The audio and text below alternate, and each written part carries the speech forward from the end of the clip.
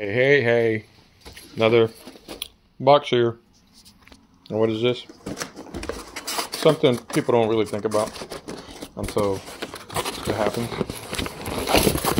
What am I talking about it happens? A fire. I was going to get one of those regular fire extinguishers, but then as I was watching reviews and a video actually, the Element, they are expensive but they are worth it. Doesn't leave residue, messes that all the other fire extinguishers leave. It's uh, easier to clean up. They actually have they actually have a 50 and a 100. Got the 50 because it's cheaper. They are a little expensive, like I said. I don't know if you can hit that barcode there and you can read about it. But this is an awesome product. I saw a review of a Jeep catching fire. They were able to shut it off real fast. Like I said, no residue, no mess, no cleanup. If you're interested, comes even with the mount. So you can put it.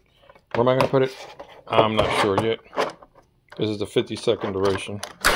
The 100 duration is actually more money. But it's worth your Jeep to go ahead and get it. I'm going to see where I'm going to mount it. And like I said, good to have. Protection, insurance. Maybe I just put it on the bottom, in between the door. Right here. Screw right there and keep it there maybe. I don't know. I'll see where I'm going to put it. I want to keep it somewhere handy. I can even tuck it in here. As long as you remember where it's at when the fire comes. Thank you for watching. See you in the next video.